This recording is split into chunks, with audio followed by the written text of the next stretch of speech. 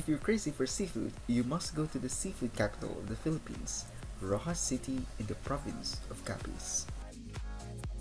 Your taste buds will surely distinguish the best tasting fresh seafood.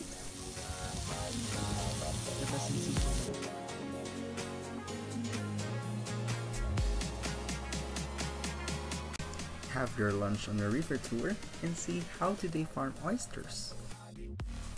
Also, don't miss the dried fish market of Capiz and the Bagsakan in Pontevedra. Of course, apart from seafood, they have so much more to offer. A Capiz shell product for one. Religious sites.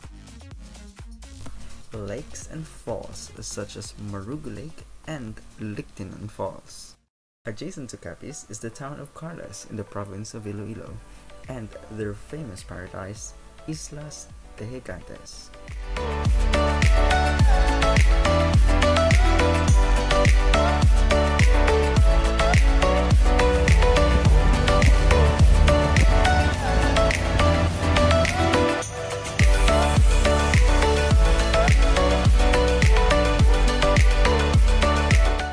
On the western part of Panay, take your nature adventure to the next level and explore the wonders the province of Antique has to offer.